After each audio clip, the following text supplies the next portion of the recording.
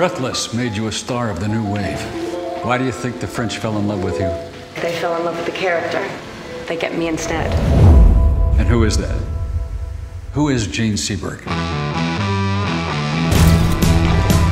A million Americans look at you and they see an escape.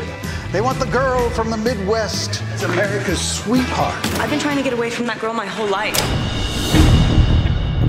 This country is at war with itself. Vietnam, the oppression of black people in America. It's the same disgusting racism. The revolution needs movie stars. Who's that? Some actress. Just grabbing some free publicity. She has a history of donations to civil rights groups. She's a sympathizer, sir. I think she could be useful. You must be some kind of crazy to come to this neighborhood in that car. Was it my money you were chasing? Or was it me?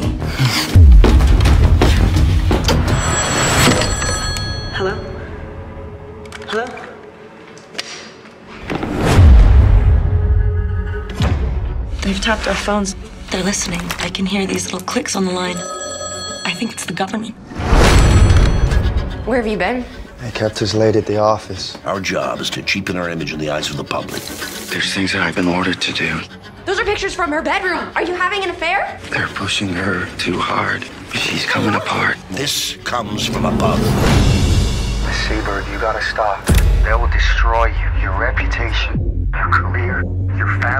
You can't stand that I might be a part of something more important than books or articles or movies. What are you a part of except the end of two marriages? Who is it? You swing by in your limousine, open your legs and your checkbook, and you think that gives you the right to anything you want. I only ever wanted to help. Well, that doesn't make you a better person. That makes you a tourist. To defame somebody who speaks out against their government is a type of persecution. You run around with a handful of nails looking for a cross to die on. You deserve to know the truth.